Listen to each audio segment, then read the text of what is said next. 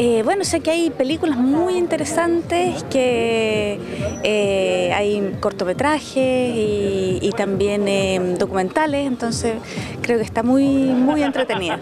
¿Cómo te sientes hoy día al ser galardonada? Feliz. Muy contenta. Cuéntame, Tamara, dada tu trayectoria en el cine chileno, ¿cómo lo ves hoy en día proyectándose internacionalmente?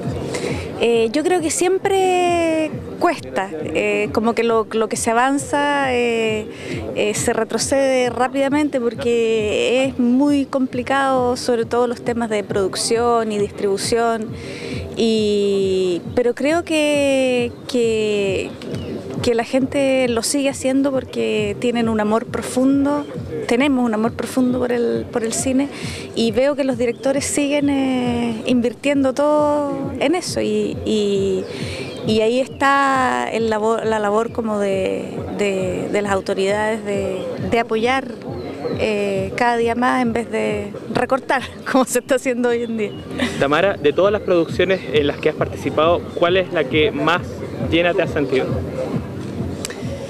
Eh, no sé, no, no, podría elegir una en particular. Eh, todos los trabajos son muy especiales y, los, llevo con, con mucho cariño en mis recuerdos. Gracias, Tamara.